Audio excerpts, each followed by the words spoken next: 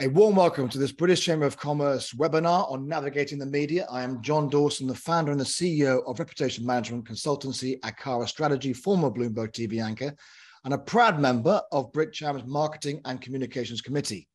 Now, with this panel, we hope to demystify and ease your concerns and fears of engaging with the media, offer guidance on how to pitch, assess the future media landscape, and reassure you why journalists are not your enemy always.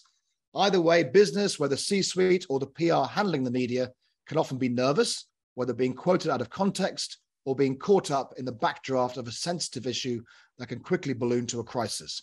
And of course, damage your brand almost permanently, sometimes corporate or indeed personal. I'm very excited today to welcome to the screen three, oh, not one, not two, but three award winning journalists at the top of their, their game who broadcast, write, and produce content across all the media platforms. Manisha Tank is an anchor, radio, and podcast host and C suite presenting coach. And last week was the host of Singapore's successful and sold out and in person FinTech Festival. Steven Chia is Singapore's most recognizable face as the lead anchor and senior editor on Channel NewsAsia's for the, well, for the past 17 years. And Shi Ping Low wears both hats, journalist and communications, she is a feature writer, editor, published author recently, content strategist, and has had senior roles in public relations. Now, now, before I start, this will be an interactive session. So if you would like to ask the speakers a question or two or three, please post using the Q&A box on your Zoom toolbar. I will do my very best to ensure that all the panel has the chance to answer them all. We'll have 50 minutes towards the end for Q&A. This session will also be available on our on-demand section of the website and social channels so if you would like to watch the webinar again, you certainly can. Also, a very special thank you, if I can, to big thank you to Lucy Hayden and also Catherine Moe from BritCham Singapore, who have worked incredibly hard to help organize this event. They've been absolutely fantastic. And without them, we wouldn't be here. It's as simple as that. So let's go to the straight to the panel. And to begin, I gave a quick headline on, on our speakers, not enough, I must say. I want to ask them to introduce themselves if I can, and briefly assess the rapidly evolving and changing media landscape.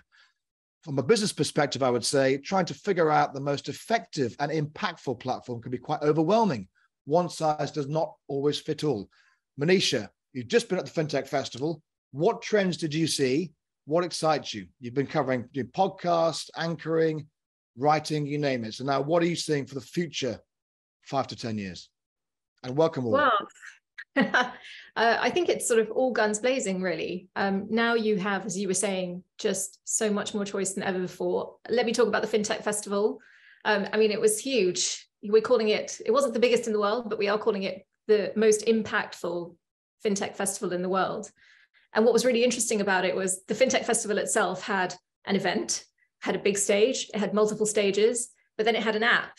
So, so here we already have two platforms. We're reaching people from the event space, which before we might not have thought of as a media platform. But let me tell you, my experience through this is actually it really did feel like one. And this is a way that many businesses, organizations got involved and were able to spread their messages, their key messages, and share a call to action.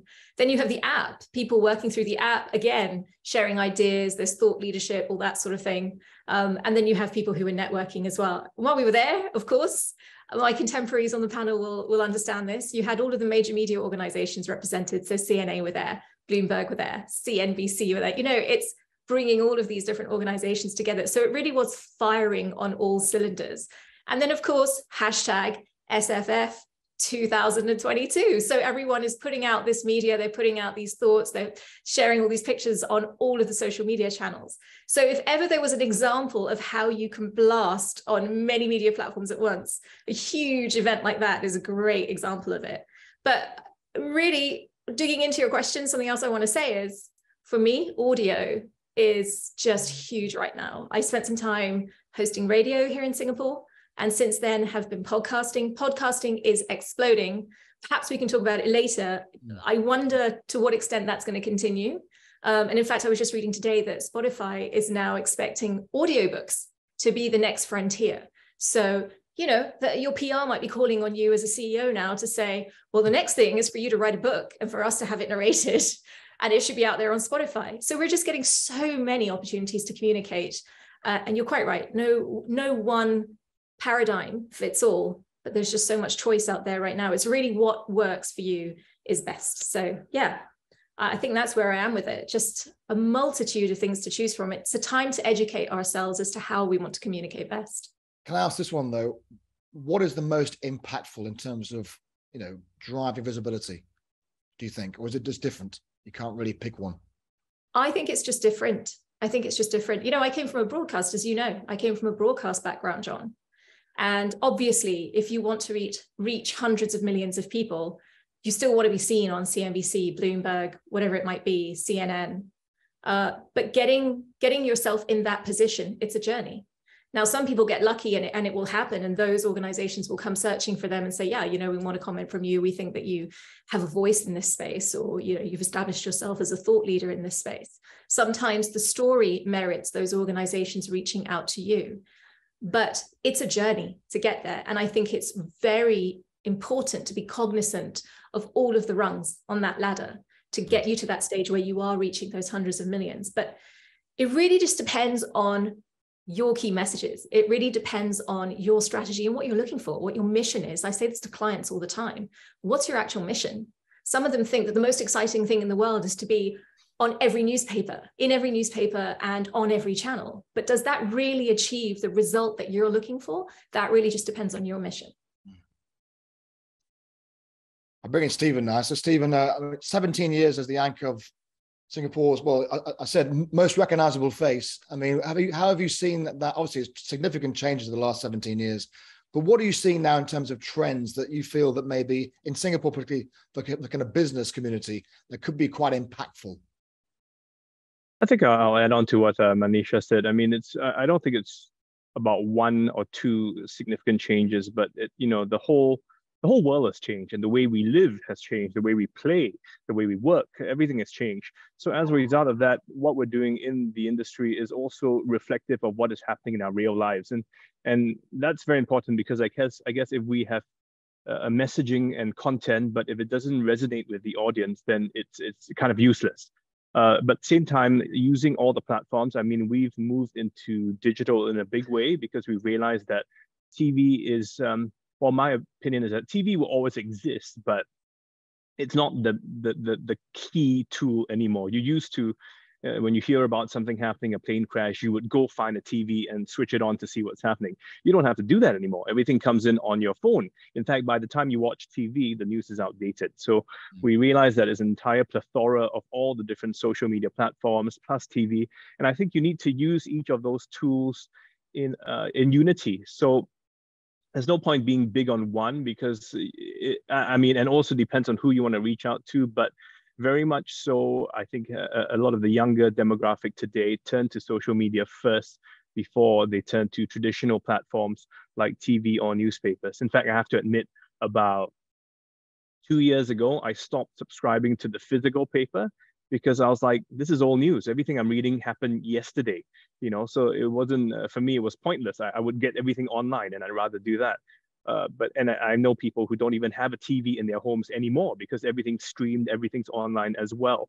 So I think that is a big change in the way we relate to them.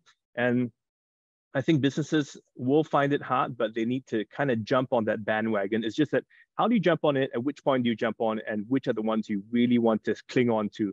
That uh, really depends on what you want to achieve. And how, how has the kind of media, if you like, overload affected Singapore? Obviously, in, in Singapore, it's the Straits, Singapore Business Times, and yourselves. So obviously, mm. the three. I mean, have you have you you mentioned move to online? Have you therefore been catching up in Singapore, or is it perhaps still a foot in the past, but really an accelerating foot to, towards the future? Well, it's a bit of both, but I mean, we we understand that our demographic is mainly people who live in Singapore, and even mm-hmm. when they travel, they do want to tune into CNA while overseas. But at the same time, we are creating content that reaches out to anyone and everyone. Because when you're online, when you're in YouTube, well, anyone and everyone can watch you. So the content isn't isolated or, or, or sort of uh, uh, bound by physical boundaries anymore. Um, I, won't say we're overloaded here. I think, uh, well, in that sense, we're all overloaded by the kind of noise we get online, right? I mean, you can Google whatever term, and, and there'll be numerous agencies telling you uh, their version of the story. So in that sense, uh, I think what we have in Singapore is, you know, is just a, a, kind of a pinch of of the iceberg, uh, you know. And I, I it's not overloaded, but it is a bit more Singapore centric simply because we realize most of our audience are here. I must one question if I can, sensitive a bit. Media censorship is quite really prevalent across all of Asia. In fact, every country in Asia that, that I can think of, from mm-hmm. Myanmar to Malaysia to Hong Kong to everywhere. Do you feel restricted, Steven, with what you can say, what you can't say in terms of media media censorship? I don't feel restricted. I think we're just careful in how we approach certain issues. And I think that should be key for anyone anywhere in the world. Uh, obviously, Singapore um, is a very multiracial, multi-religious society. So when it comes to things that deal with those, we're just more careful in how we approach those subjects.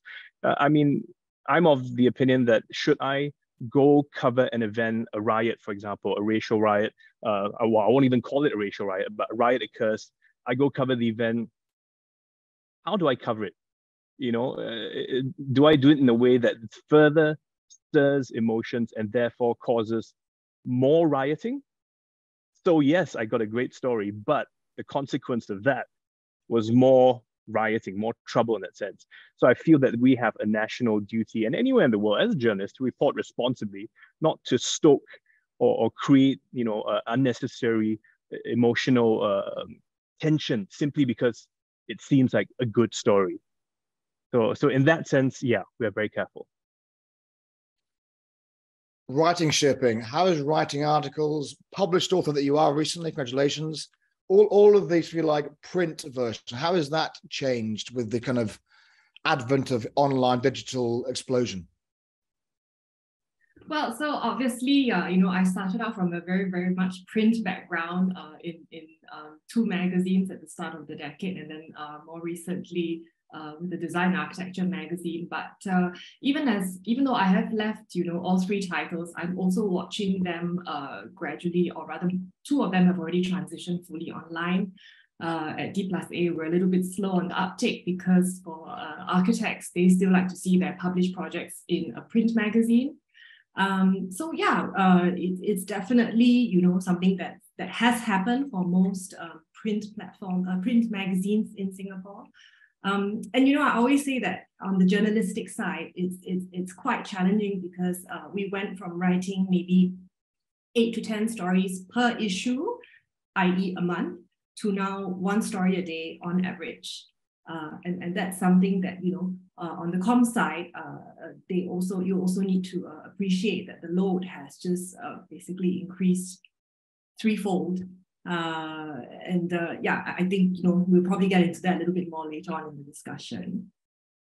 And how, how, how has media engagement changed? You mentioned uh, in, in the past that it's very difficult to find some some C-suite are saying the media engagement is quite intangible. You can't really like gauge the kind of you know value going forward. So, what would you say to those who don't see the value of media at the moment, or or, or indeed actually trust? Trust is a major issue right now, of course. Mm-hmm.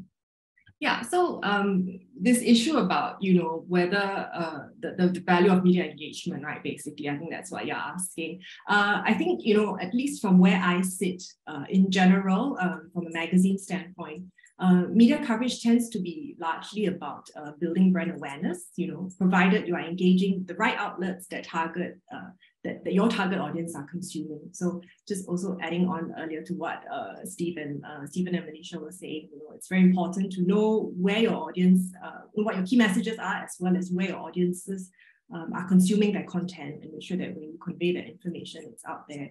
Um, but largely, you know, it is still awareness uh, building in magazines. But what it does also is that it helps you build um, credibility because, you know, um, the, the, the, the, the, these outlets, you know, talking about your brands help to uh, uh, give you an endorsement by an independent third party.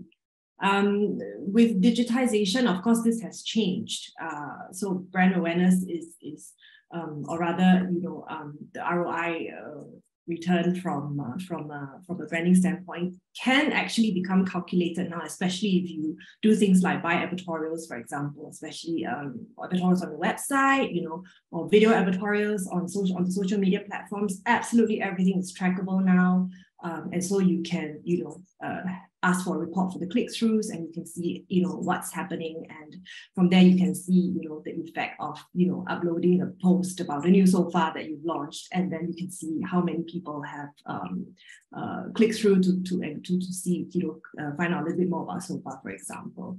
Um, for some industries, the return is actually very, very immediate and obvious. So I just give you an example. I used to write a lot about for food as a freelancer with Today newspaper.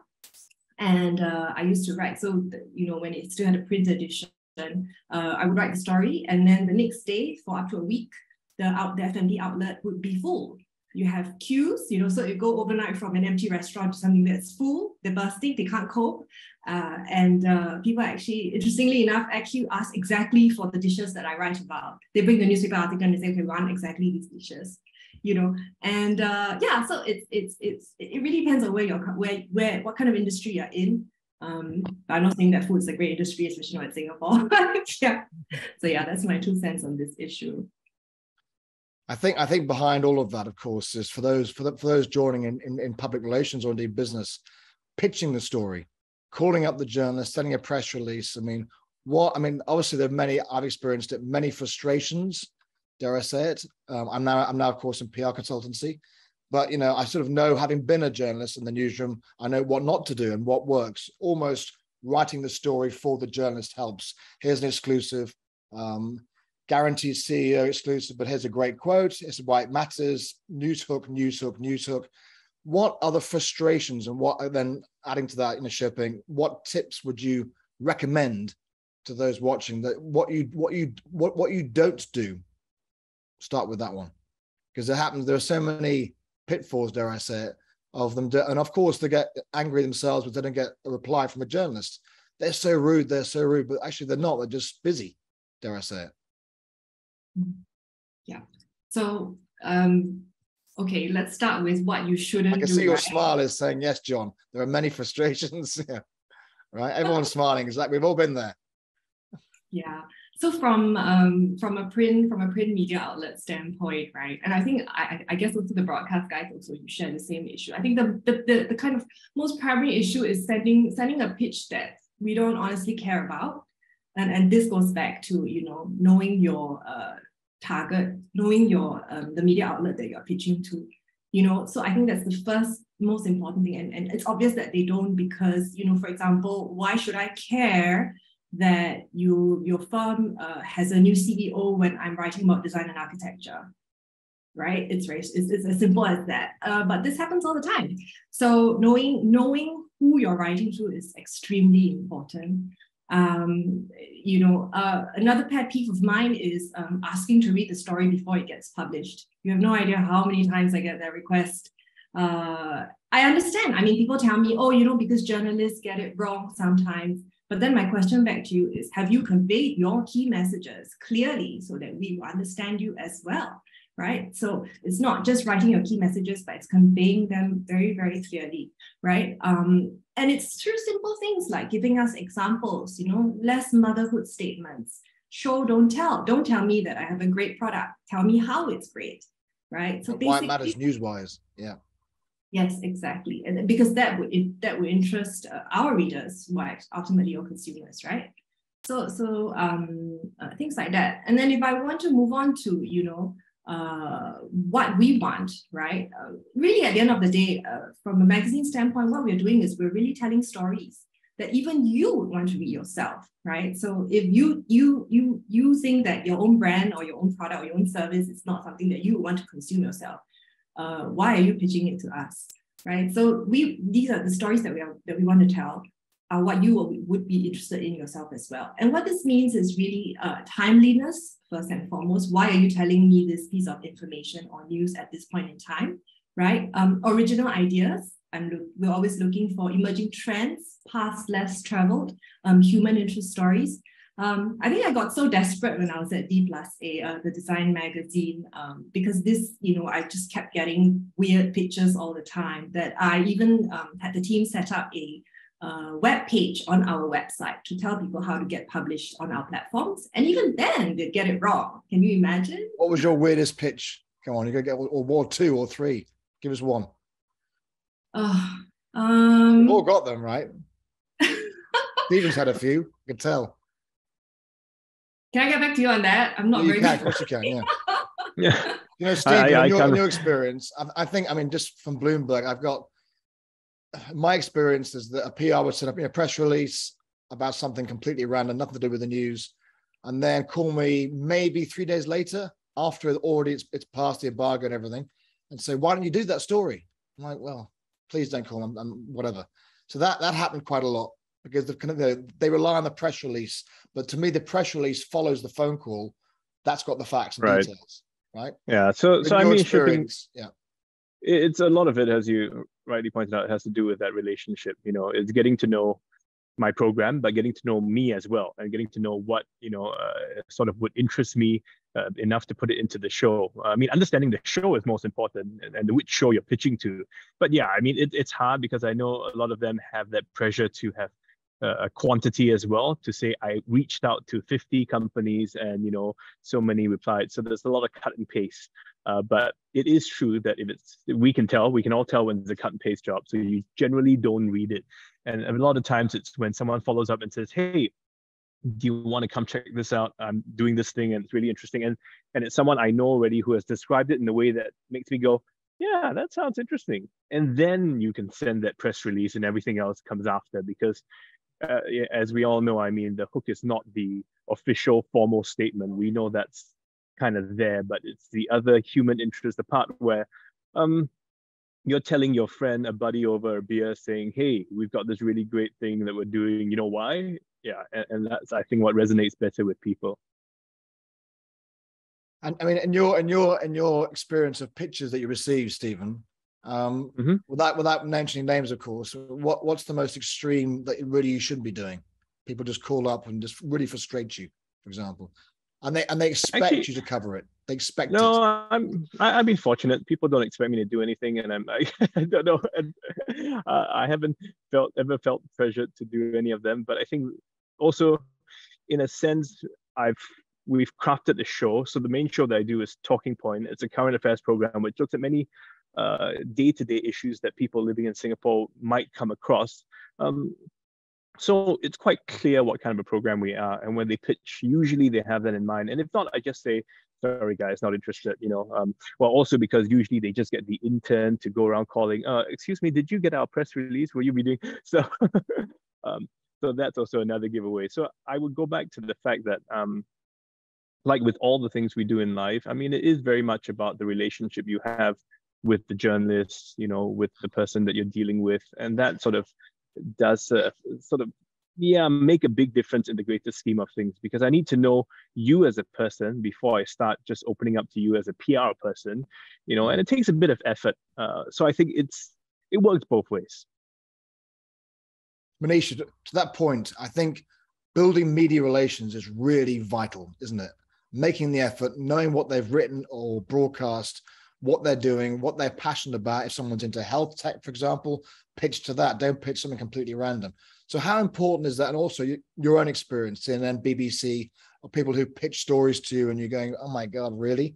Or this is a fantastic pitch. Yes, to that story. Yeah. Okay. Let me tell you, I think my entire career, which spans more than 20 years, I personally have only ever responded to a PR, like a press release that dropped in my inbox once. Once. And and I think it's worth Yeah. sharing why I responded to it. So it was actually when I was working here in Singapore for SPH Radio. And what happens is when you join the organization, the whole PR industry in Singapore, you know, there's a press release that goes out that this new person has joined this is their email address, etc. So people knew that they could get in touch with me. And so this press release drops and it's about an, a reinsurance conference. Okay, let's be honest, it's not the most exciting thing in the world, reinsurance.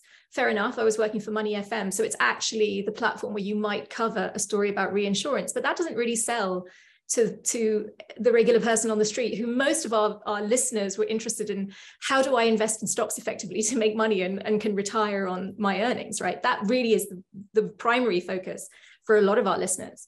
Um, but I'm looking at this as a journalist and I'm saying, actually, it's not the subject of this conference that I'm interested in. It's the people that they're bringing here to Singapore. So they had the CEOs of the biggest reinsurance companies in the world. And you and I, John, know how, and Steven, all of us know how impactful those people would be. So I would always, having come from the BBC and CNN sort of global organizations, that's always where my pitch would be. It'd be like, well, I'm going to talk about the conference, but I want that guy on the show because then we can say we had X number of CEOs on the show. That's a KPI for us because we're getting people who have that level of thought leadership and we're getting them to engage with our listeners. So that was major we ended up having a guy on who is very deeply involved in insurance and climate. And it ended up being a really important conversation about adaptive economy given climate change. So we turned that into a story based on the guests who were coming rather than there's a conference just we want to cover that. So, so the pr had thought that that was the headline. I'm like actually no mm. look beyond. It's the people you're bringing. So i think you know uh, we've had questions already about what advice would you give pr professionals?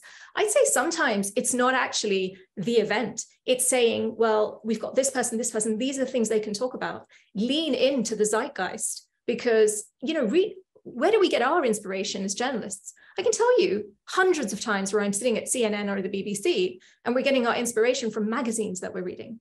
You know, I remember when I was in New York, and you might think, gosh, New York, financial hub, all the rest of it. But in those days, we didn't get a huge amount of our news from digital. The years that I was there, we would we would go through The Economist and we would look at Time magazine, and we would have a stack of magazines on my desk, and I would read through all of them and see which articles were catching my eye which subject areas what are the things people are talking about? Where do we need to dig a little deeper? Where do we need to invite someone on to talk about this in one of our interviews on the show? So that was how i found stories. Um, again i'm coming back to what i said earlier which is it is a journey till you get to that point where you're able to broadcast to those hundreds of millions so, so my first advice would be really think about what's going on. And I, you know, I agree completely with Steven. Like, know what that show is about. If you're going to pitch to them, you should have an idea of what sort of stories they cover in the first place and what they might be interested in.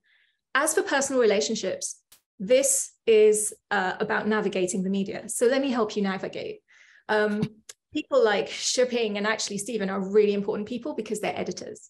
So most of the time, me as an anchor, when I go on on air. It's not me who's deciding what's in the rundown. Sometimes I would walk in and I would read the rundown and I'd say, you know what, guys, I think we're remiss not covering this. And I think that we need to do this. And, you know, I would weave them in. But by and large, I would respect what my editor had decided to put together.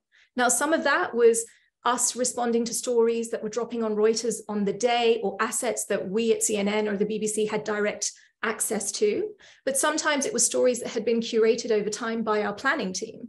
So, who should you be reaching out to, particularly with organizations like CNBC, Bloomberg, CNN, BBC? You want to be hitting the planning teams. Find out who those guys are, find out who the editors are, nurture those relationships. Turn up, make sure they know who you are, make sure your name is in the back of their mind. Because when that big story comes up where your firm, your company is relevant, they're going to call you because they're going to call in those assets and they're going to draw on those relationships. Um, so I hope that that's helpful because I think it is helpful. I think I think to add to that as well, Manisha, is that yeah, not necessarily the CEO is the best spokesperson on television or in broadcast.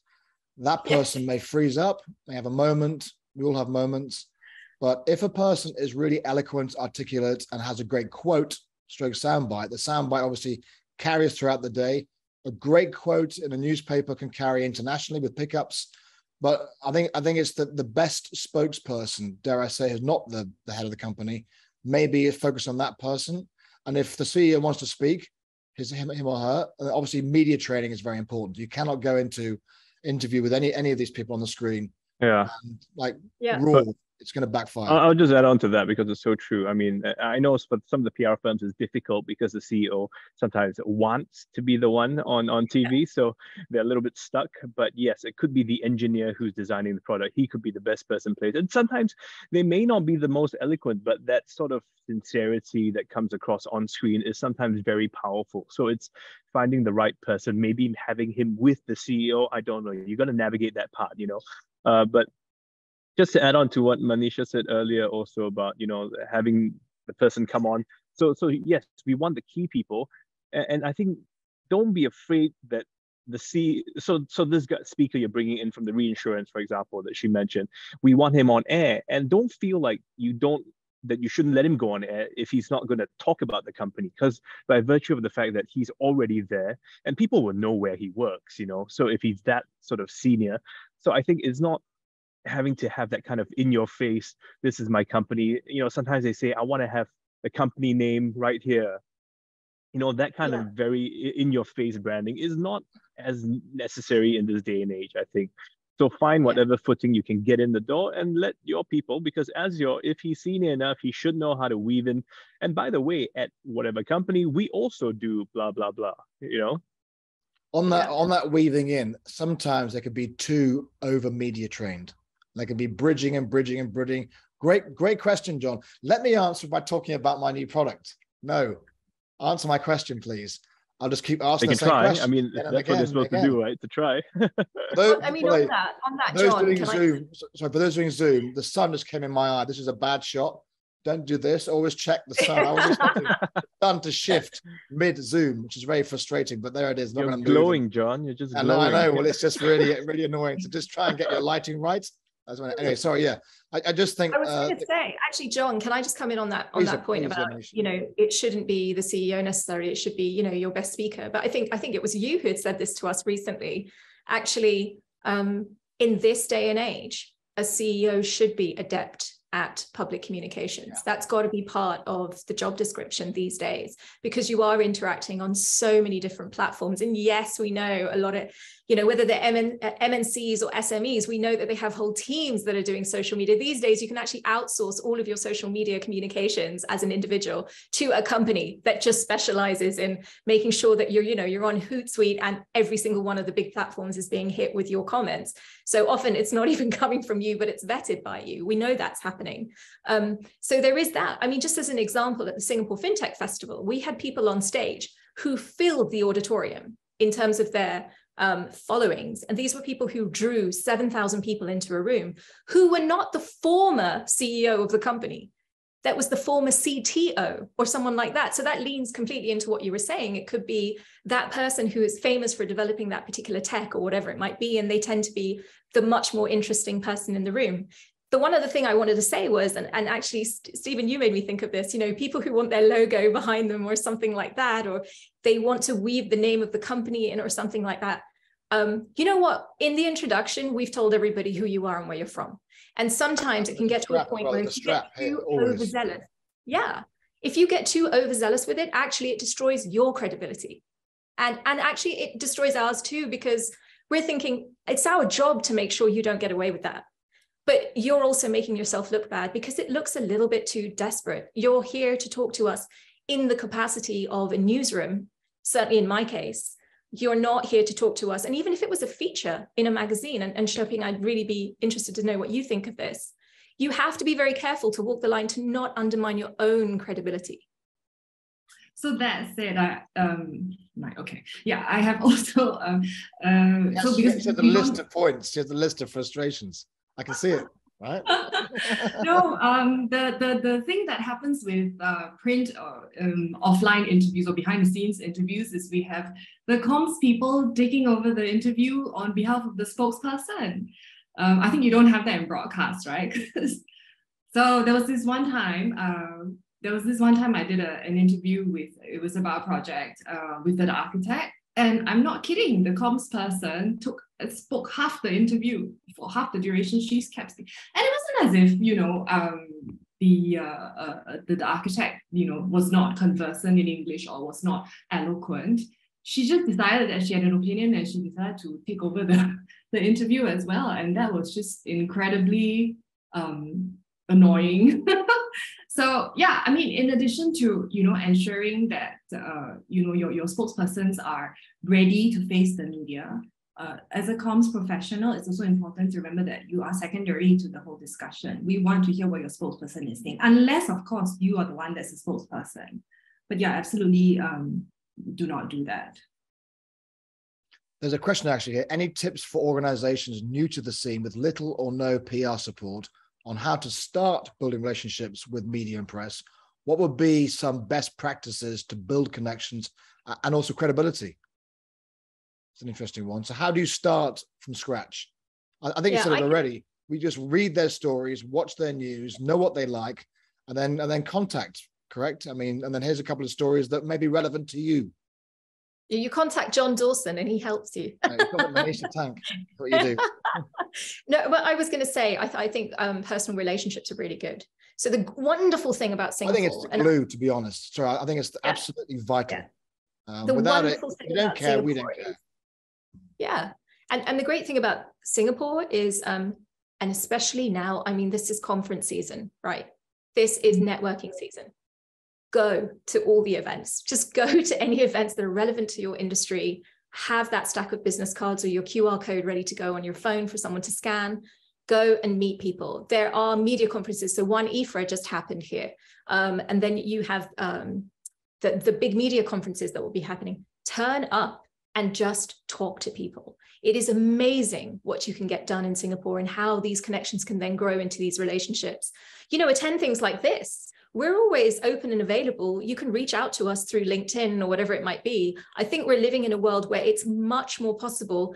I think you, I'm of an age, all of you are maybe younger. I'm of an older age.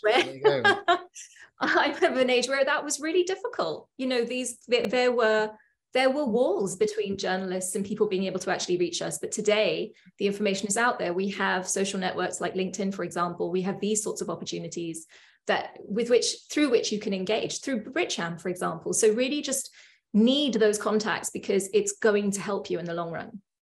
And I was also going to, um, I was going to add as well, right? This whole issue around how to build relationships with journalists. Um, I think it's it's also very important to, you know, um, get on the phone and call. Uh, well, at least for me, uh, in magazines, right? Get on the phone, call, talk to us, um, even ask us out for a coffee or a, or, or a meal, right? Um, obviously because like I come from luxuries, uh, luxury the luxury lifestyle background, so we were pampered like crazy, and and after a while, you know, and and that makes it does make a difference. I will not deny it, you know.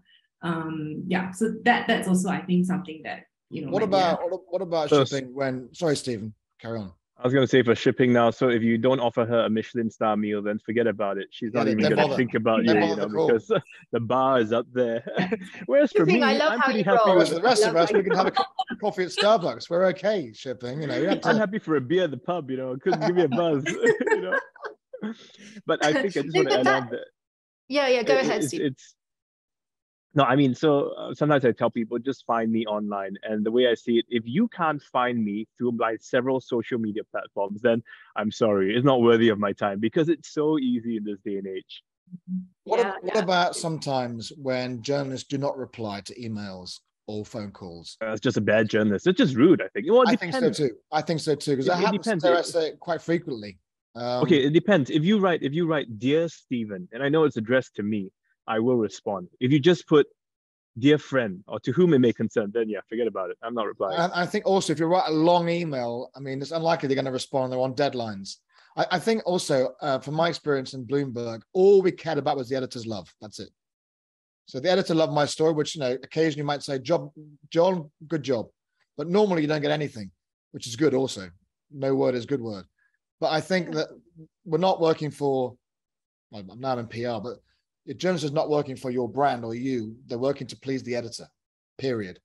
That's it. I think uh, at Bloomberg we had this five Fs you may know about, which was a story must. It's in my head like a chip.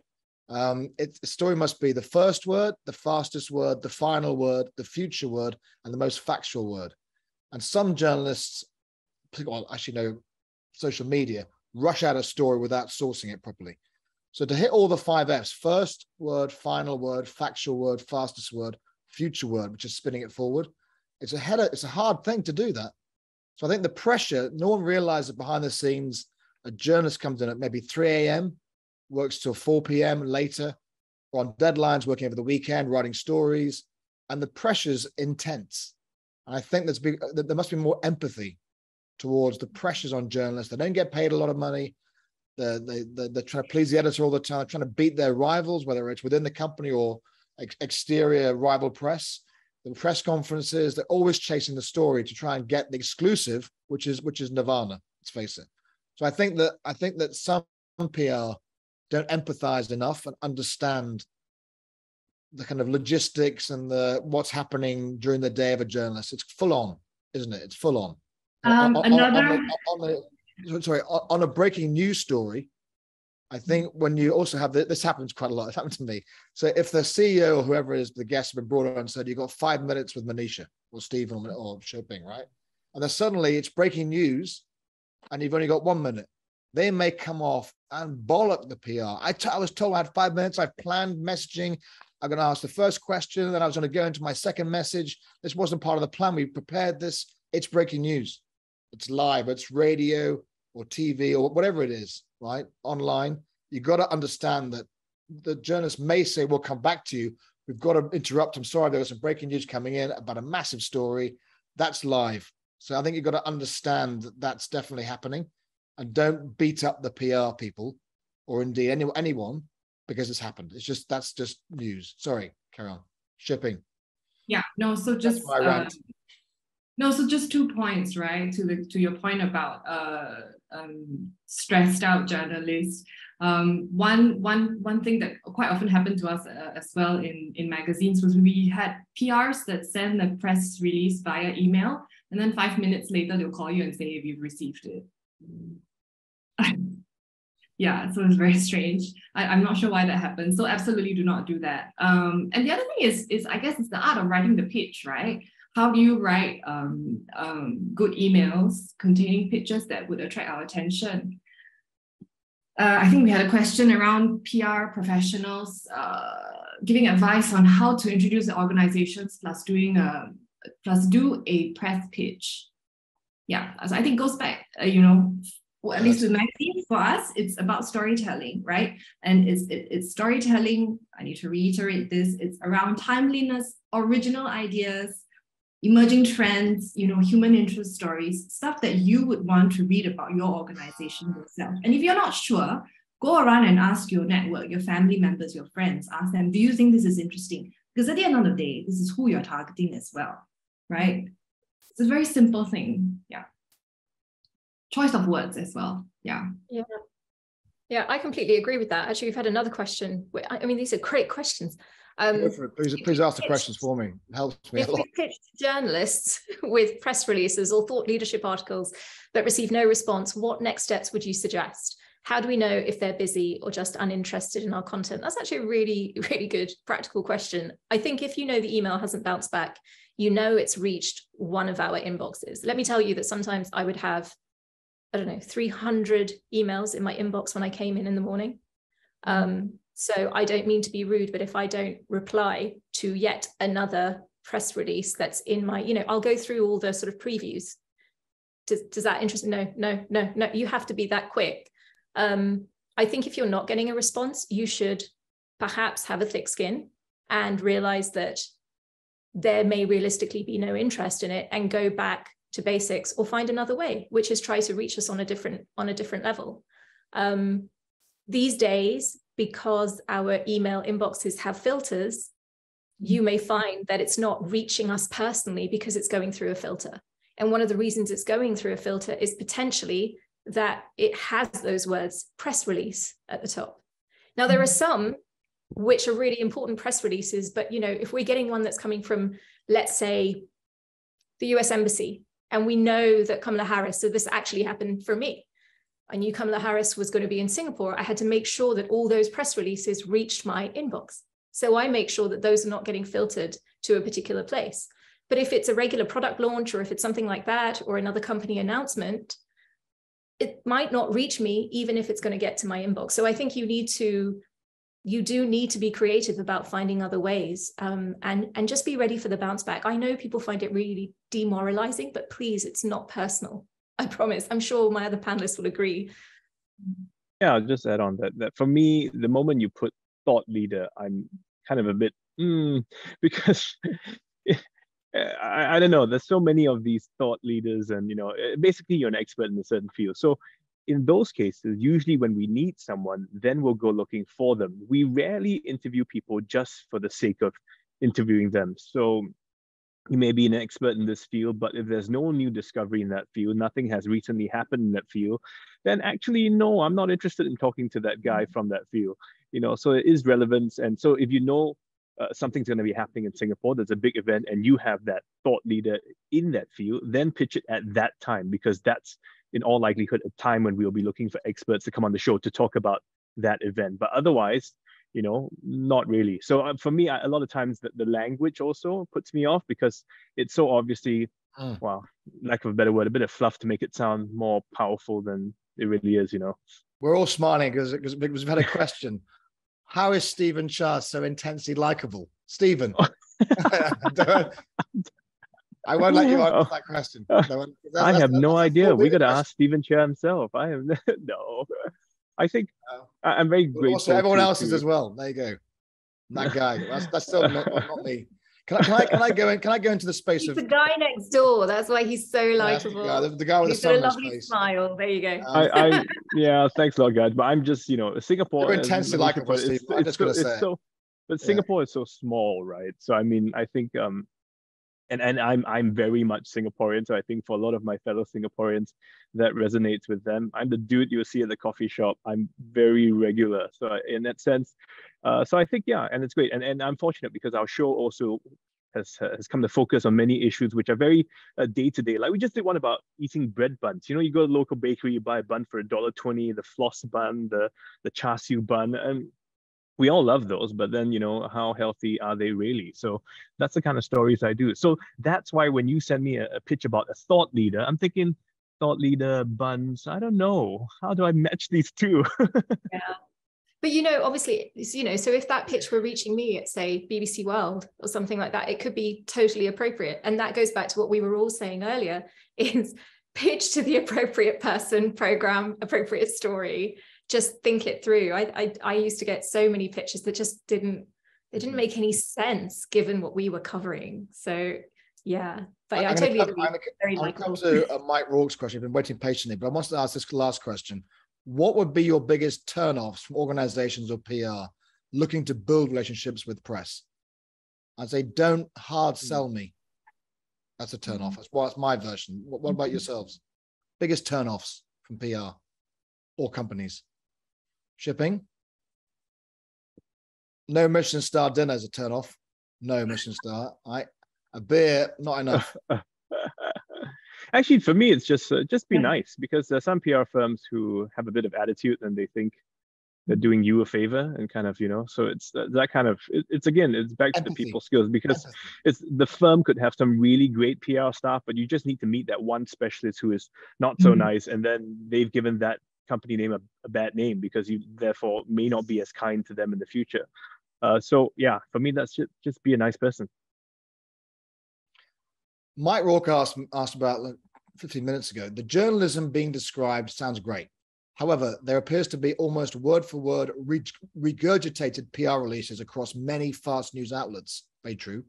Is this mm-hmm. diluting the value of journalism? And in this example, the value return for companies?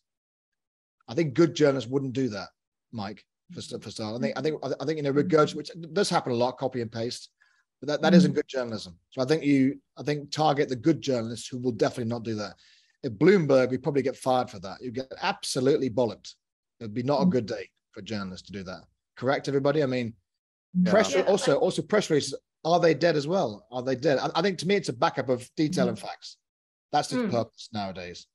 Yeah, in fact, I would say your press release is worthwhile. It's just not your first point of contact. Yeah. In fact, you can really yeah. turn us off by sending a press release. But actually, if you make a personal contact and then we say, well, that actually does sound quite interesting, why don't you send me the info? That's the point at which I want to read a little bit more about that story. Uh, I mean, would the, you guys agree?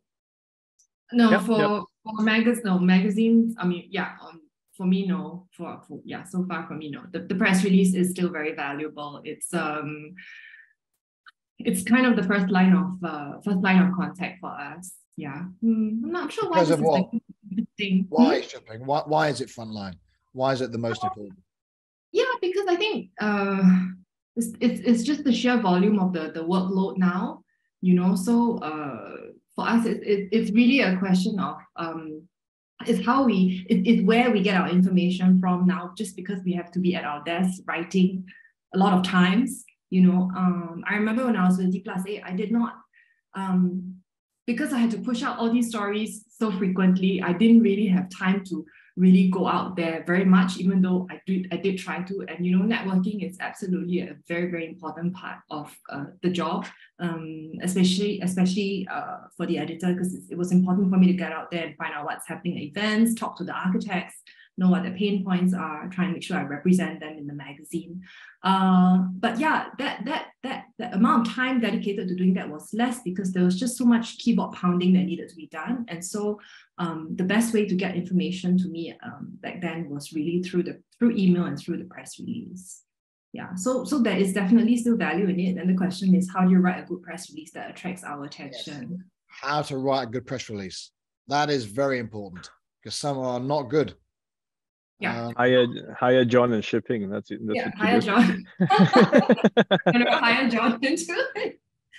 Yeah, it's it's back to that list that I keep that I've already uh, mentioned twice, right? It's it's I mean it's choice of words. Make sure you have ba- ba- I mean your basics in place. No grammar, punctuation, um, mistakes, actually, right? Just you, tells a story. Actually, just content yeah. rich. You know, I, again, there was a quote I remember covering print at Bloomberg.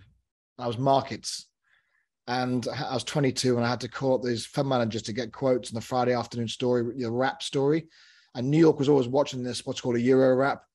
And it was just so intense. I was a bit young and I was being, it's just full on, you know. And I, and this, I call up these, some of them just say, why call me now? It's four o'clock in the afternoon. I haven't got time for you and hang up. But one guy said, and it was a, it was the Asian financial crisis, 97. And he said, this market is like a cigarette packet it needs a health warning. I remember mm-hmm. thinking, Hallelujah, because the quote was so good. And then the headline yeah. editor changed it to a you know, cigarette term because yeah, yeah. it's on fire headline. And that mm-hmm. quote, that quote, my story was a okay story, is a market story, but that quote got me so much coverage, international pickups. And actually, he told me that the next week that he got 50 million pounds of new investment because of, because of him being in the quote across all of these platforms back then. So I think again the importance of knowing what to say. I used to know a guy called Justin Urquhart Stewart, who's an ex-barrister. He would spend a, an hour.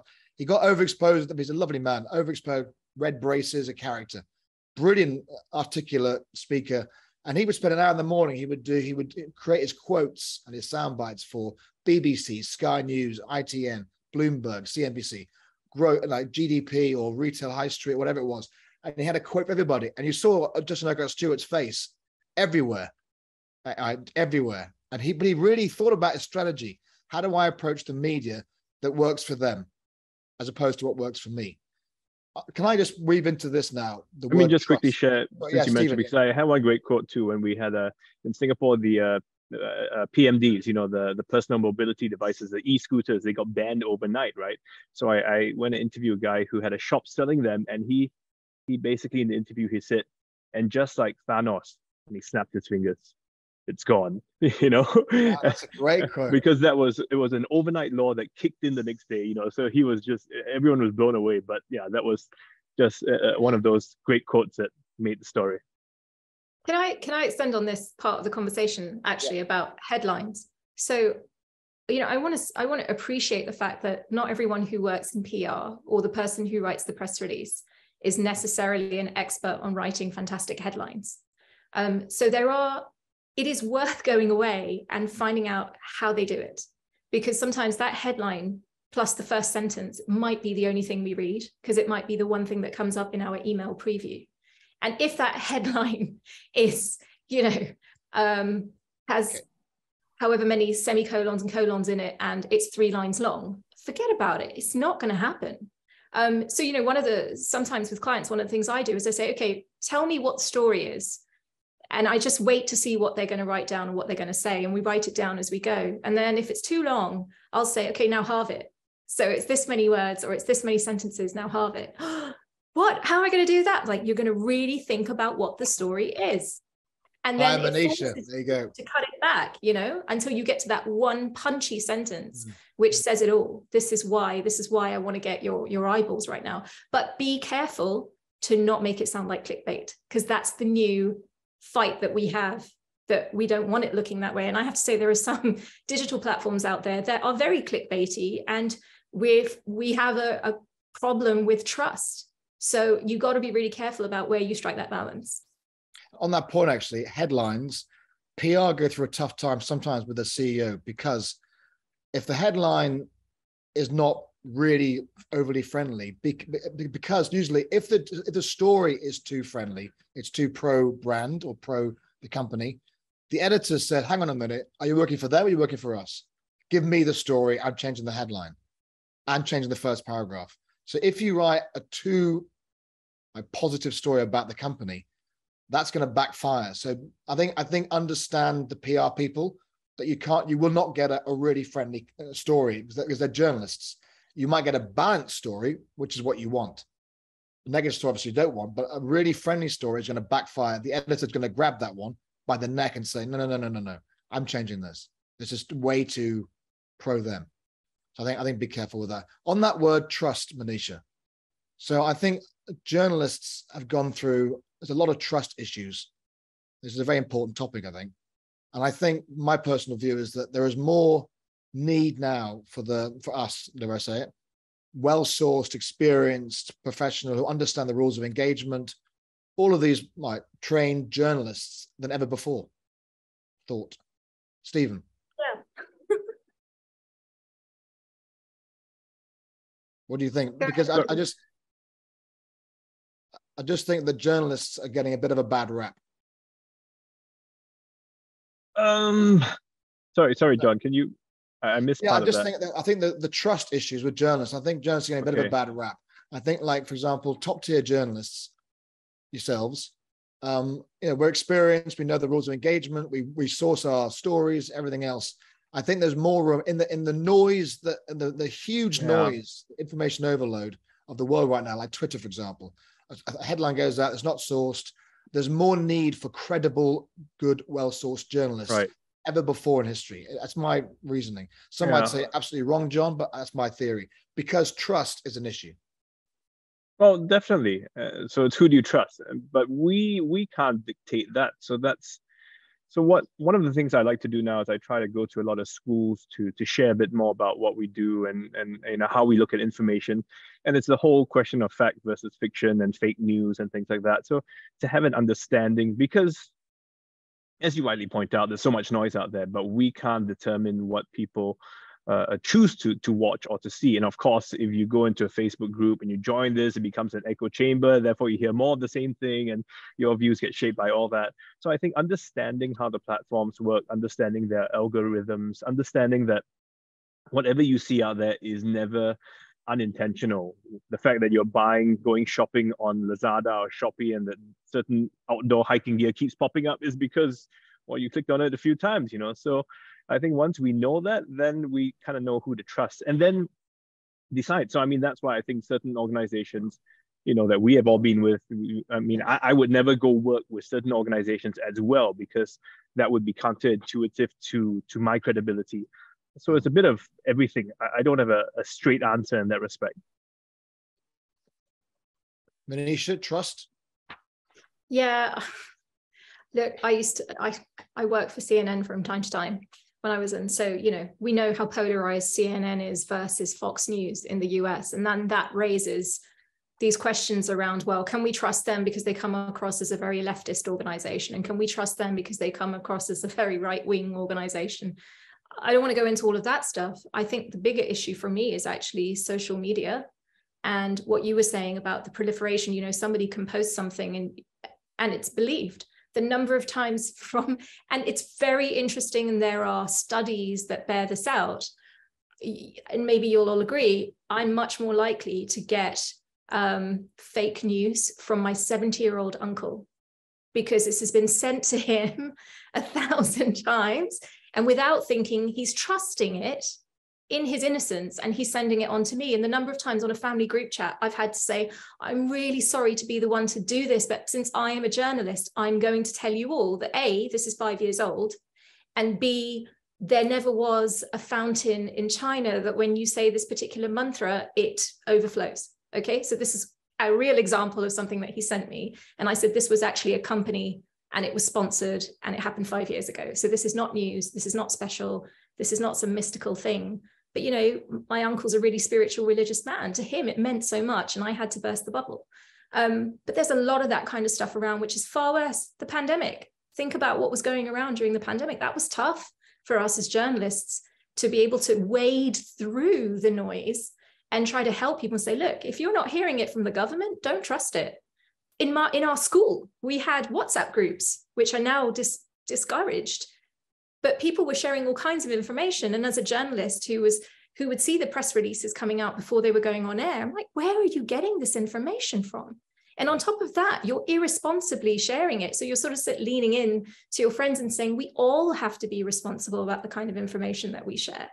Um, I think we must not forget, as we're talking about navigating the media, the younger generation, they're getting news from TikTok. They're getting news on YouTube. They're getting it on all of these different platforms. And I think more than ever, I mean, we all don't know what Elon Musk is going to do with Twitter exactly. There are some people who have some theories, but this whole blue tick thing, I'm watching it very closely. This idea that these are organizations that are somehow more trustworthy or the bastions of truth or whatever. Well, whose truth? So this is a new kind of post. This is the post-truth world where we have to have these debates about what is truth. I can tell you, having worked for the BBC, CNN, and Reuters, I have worked alongside some of the most talented, brilliant, responsible, caring people in the world who take what they do really seriously and they approach their journalism with the highest level of ethics in mind. And they double source, they triple source. Um, and I would trust them in a heartbeat. And I hope many others would too. That's well what I have to say about that. Well said. I couldn't agree. Um, Andrew Clark's got a question here. What's the best way, Andrew says, to check the credibility of a journalist who might reach out to you or your company for an interview or comment? I think that's the point to you, Manisha. I think, you know, these are seasoned people who I agree with you. I've worked with some really talented people who take it so seriously. And if the question was that's not that's not trustworthy, they, would really take it to heart. It's a real insult. But I mean, to, to, to, Andrew's point, I mean, how do you check the credibility of a journalist? Yeah, well, you know what? There are no. so many ways you can do that today because you can i mean companies do this now when you apply for a job and there are there are actually companies that do this this is their business they trawl social media to see how credible this person is so that is one thing you can do you can look them up on linkedin i would say counter interview them ask them who are you can i see some of your past work who have you been talking to which organizations do you work for Singapore is such a place where everybody knows everybody. So, so there's always, you cannot hide. someone you can call on and you can say, hey, do you know this person? And you know, they might be able to tell you. Um, but this is this is a great time where that's a great question, and you can definitely leverage, you know, LinkedIn or whatever it might be. And I would just say, be honest, just say, look, in this world where it's very difficult to know who to trust, I would love for you to tell me and show me examples of your work you know, given the fact that you're in, you want to engage with me. So it goes both ways. Andrew said, I trust all of you. Thank you, Andrew. He's a good guy, Andrew Clark. Um, can, I, can I just shift in if I can? Uh, Steven's mentioned schools. You mentioned TikTok. I know that kids do consume literally, I'd say 85% of their news from TikTok or other areas like that. Now, you know, Manisha on, on the call now is um, the PRs from Dulwich and Marlborough, and your kids at Marlborough. Sorry, Dulwich, excuse me. And yes. I know that you went to a recent uh, talk. What was it called? Um, a compassionate systems model. You, you were quite impressed without pushing the Dulwich story, which I'm sure that person on the live from PR would love that. Um, but I think you know, trying to filter and protect and regulate media for our, for, for the next generation, for kids, for our kids, it's a it's a big challenge because they are just consuming. And even though we can at home try and uh, regulate our own what, what what they read and see and watch, they're with their friends. Whatever we think that we're, we're covering, they're already telling us not what they're, what they're actually seeing. So it's very difficult to, to manage it and control that. So how, what did you hear from this talk, Manisha, that was groundbreaking, if you like? Yeah, well, to clarify, the talk was actually about, it was to help us parents understand the system within, within which or the, or the system that sort of underpins the way that Dulwich engages with our kids and, and interacts and teaches our children. And it's called this compassionate systems model. So what is that really? Well, um, the, our brilliant presenters that day started the session by showing us a bunch of headlines and saying, well, these are all, and they were all really negative headlines. It's like, you know, the world is burning, it's all falling apart, you know, everything was just negative, And it was from that day. Um, and I've said this for years. If you go through, and I did actually do this once, it was a litmus test. I got the Times newspaper when I was in the UK, got a marker pen, and I marked the first story headline that was positive in any way. It took me till page six of a broadsheet to find a small article to put a loop around that headline. So there's so much negativity that our children are being bombarded with. And then if it's negativity in the actual news, then over on social media, well, there's all kinds of stuff. And those are other different people's energies, wherever those people are at, broadcasting to our children, and our children are downloading this stuff.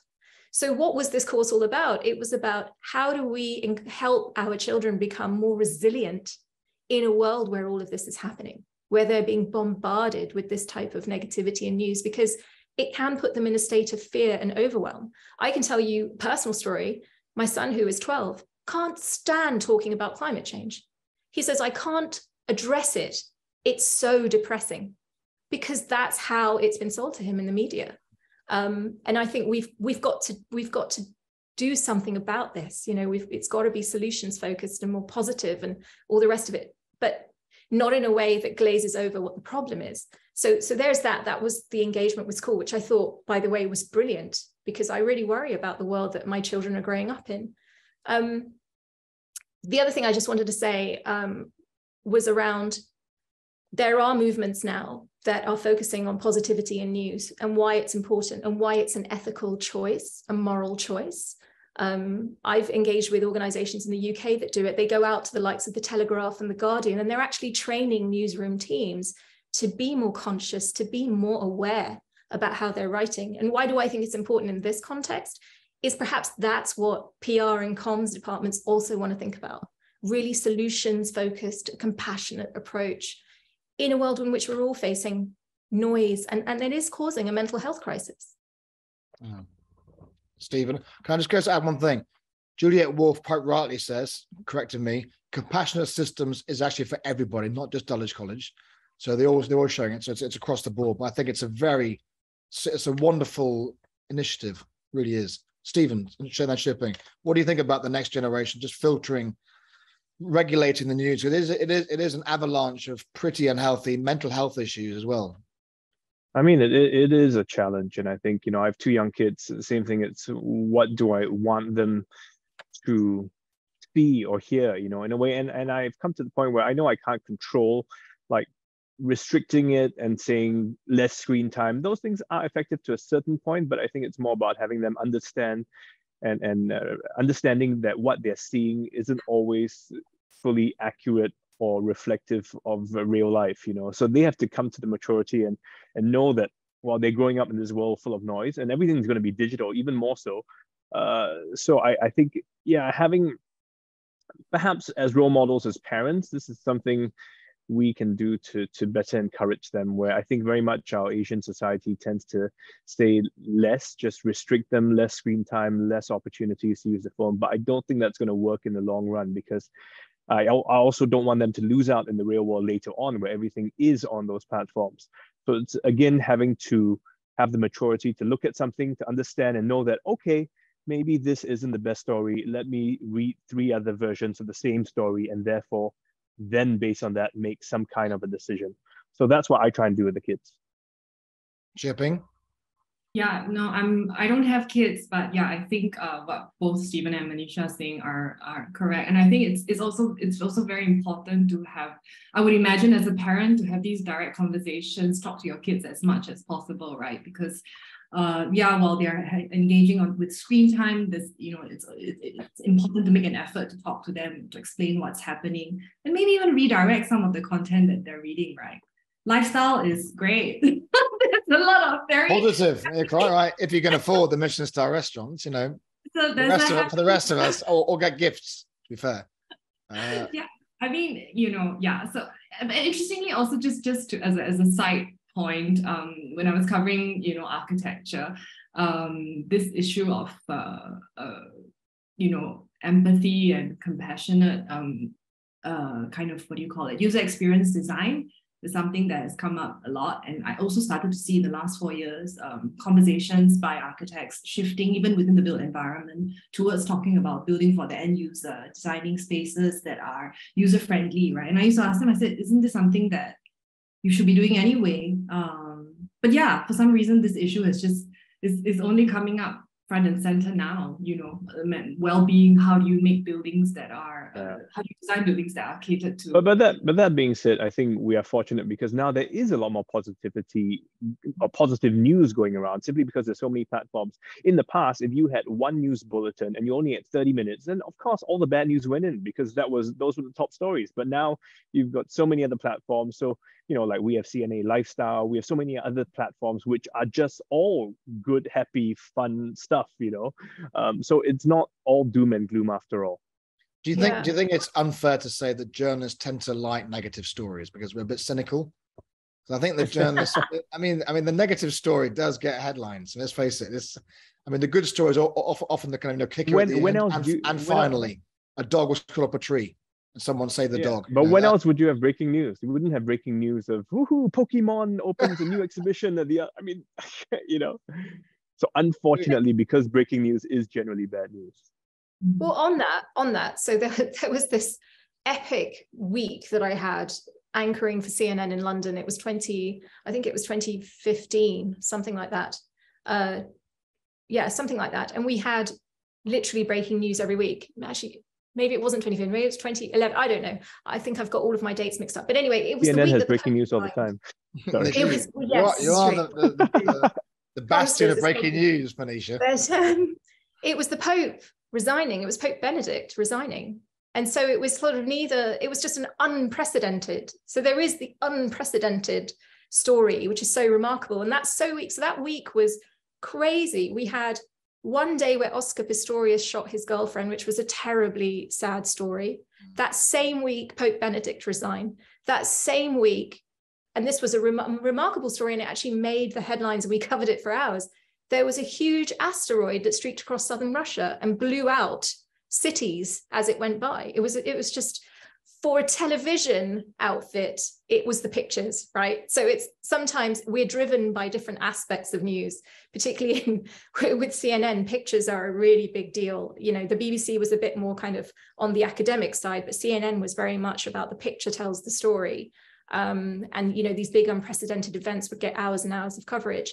Um, but I mean, I just want to, given everything everybody said, there's a question from, from Juliet, which was, as I recall, former BBC presenter Martyn Lewis tried to share a message of news positivity years ago, but was unfortunately ridiculed at the time. I totally agree with Steven. Today, there is so many opportunity, so much opportunity to share the more positive stories.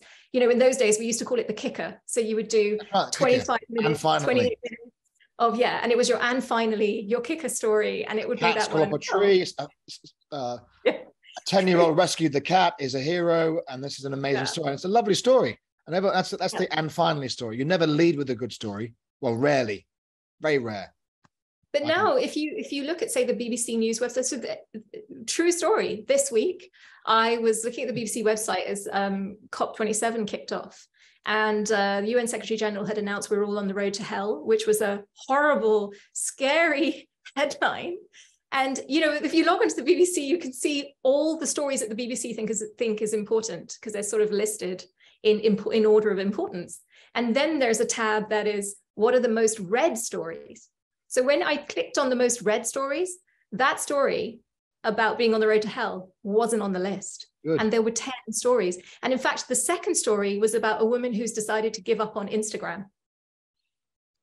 Well, that's, so that's, the world the is changing. Read stories. That's that's even better because that's what they're like reading, obviously. Yeah.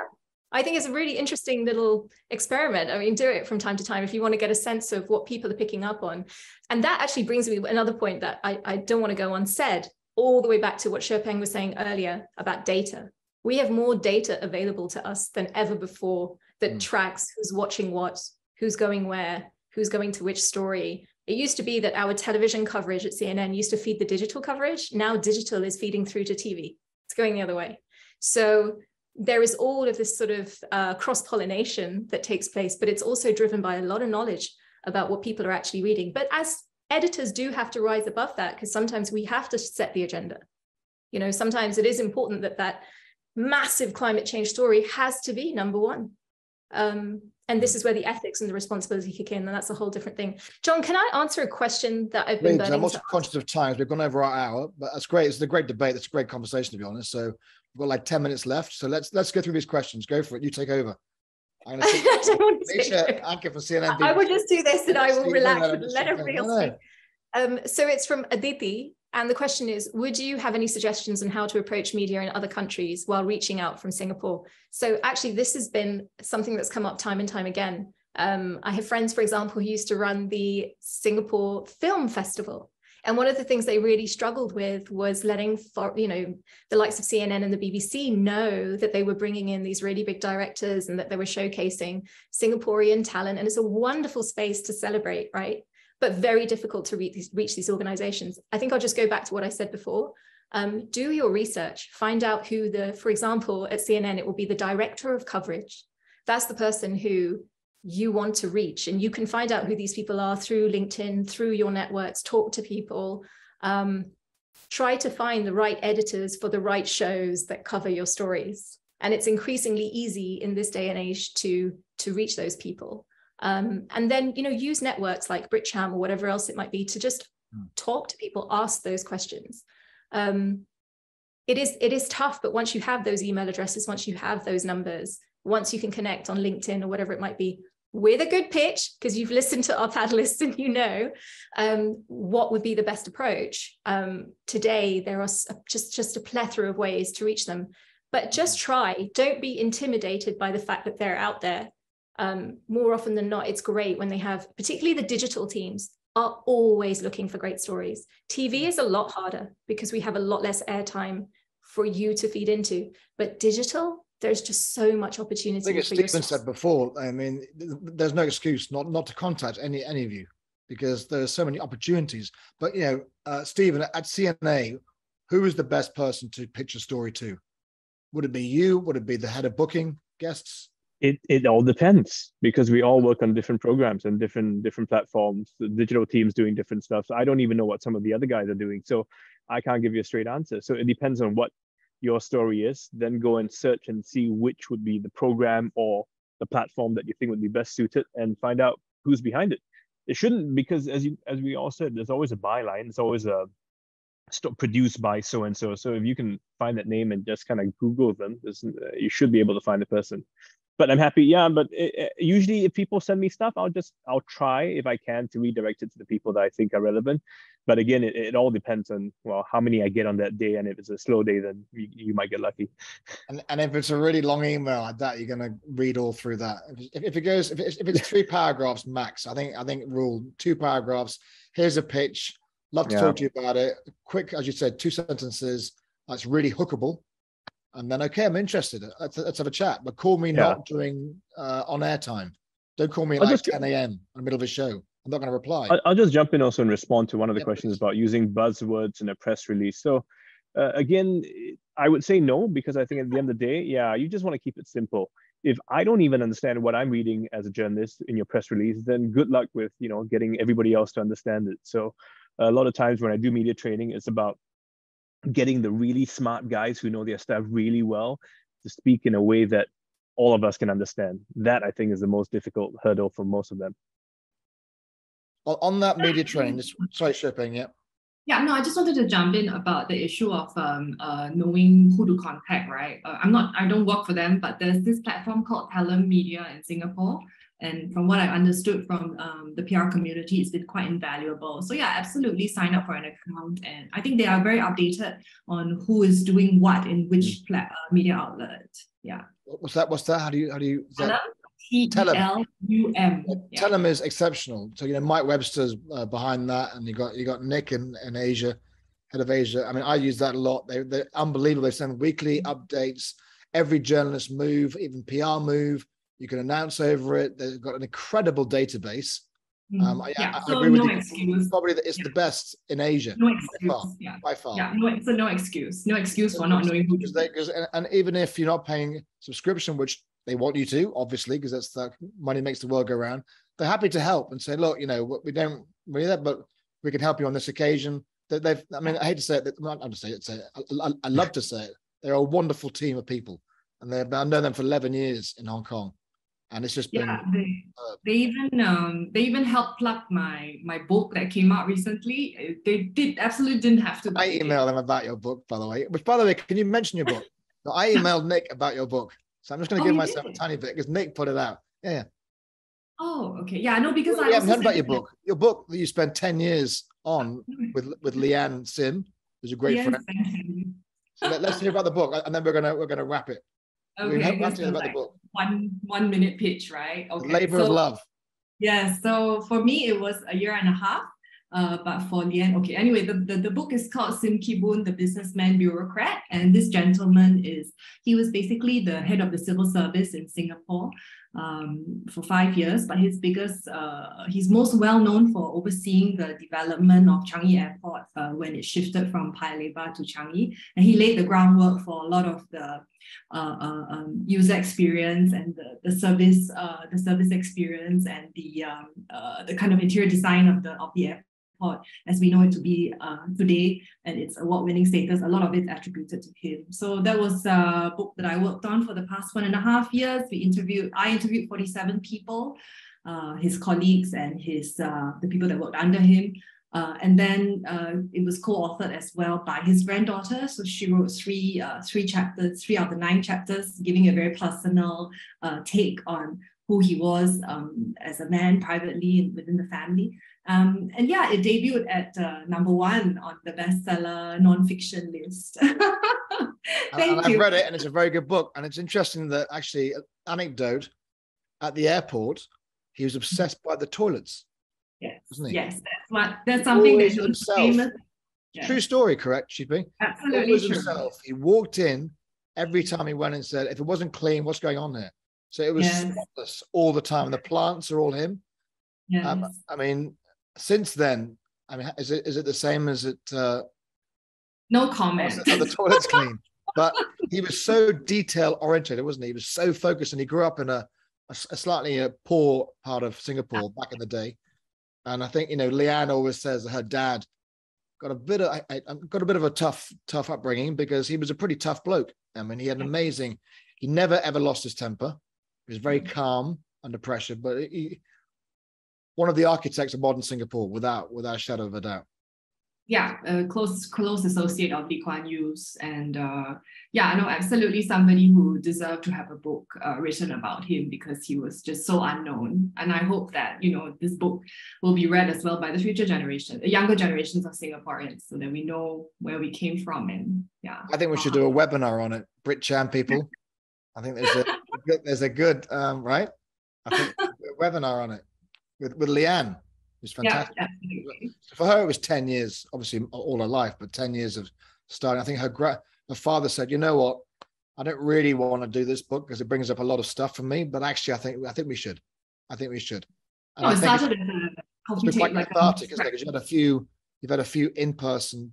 Sorry, I learned this recently at a summit. IRL in real life, not in person. IRL summits or events like you know Singapore FinTech and I think that the, the, it's for the family. It's quite for the five brothers, and it's five brothers.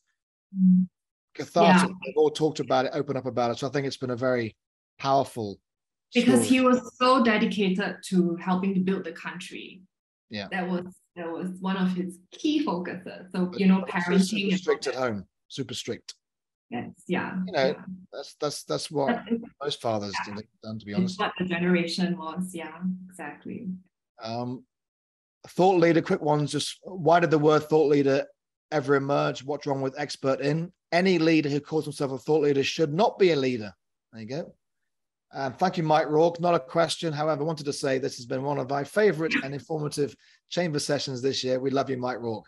Thank you to the panelists. So I, actually, I'm going to wrap up by saying thank you to panelists. We've gone over, actually an hour and a half now. So those who are watching, uh, try to keep it to an hour. But thank you very much to all of you for being really candid, very open, thoughtful, insightful about your your thoughts and experiences, and hopefully everyone got some great advice. And thank you to all those actually also who attended and joined us and for your questions. They were fantastic. Um, I'd like to also highlight, if I can, reading off my written auto cue here, the next in-person event where we also look to the future, albeit in the metaverse. Andrew Clark knows about that. You can see the details on your screen now. So it's called Unreal Estate Demystifying the Metaverse. This will be next Tuesday, November the 15th at 5 p.m. The world of Web3 is embracing gaming more and more. This is the future where the older generations like it or not. Our speakers will share the opportunities and pitfalls the metaverse pose to business and real estate. Please refer to the BritCham website for more updates on future webinars and the Chamber's events, virtual or IRL in real life. I'm proud of that new acronym. Thank you very much. You'll also receive a feedback form. Please do fill in and feel free to be honest, good or bad.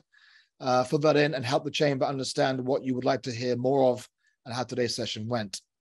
And just to say, actually, on the Metaverse, I had a recent thing at a web summit in Lisbon. The Metaverse, a woman, uh, this lady gave a great speech that whether you like it or not, everybody, our children are playing Roblox, and it's not all about shooting people. Like girls, like my daughter's 13, she loves building houses on the Metaverse. And then, you hmm. know, Stephen comes in, I built you a room, Stephen, in my house, and this is fantastic. And you're going to have these little flowers, you're going to have a whole restaurant shipment. She's going to have that little over there, you're going to have this shipping. So the girls love building houses. It's become a community. I learned that Web3 is actually 95% gaming. You know, or you know, think about metaverse is Web3 and metaverse is more or less gaming, which of course I don't do, but that's the next generation. So we have to embrace, engage, and but everybody, thank you so much, honestly, for taking your time today. I know it's busy for everybody. Really, really appreciate it. And uh, have a wonderful evening in Singapore, the Lion City. Thank you. Thanks, so guys. Bye-bye. Bye-bye. Bye.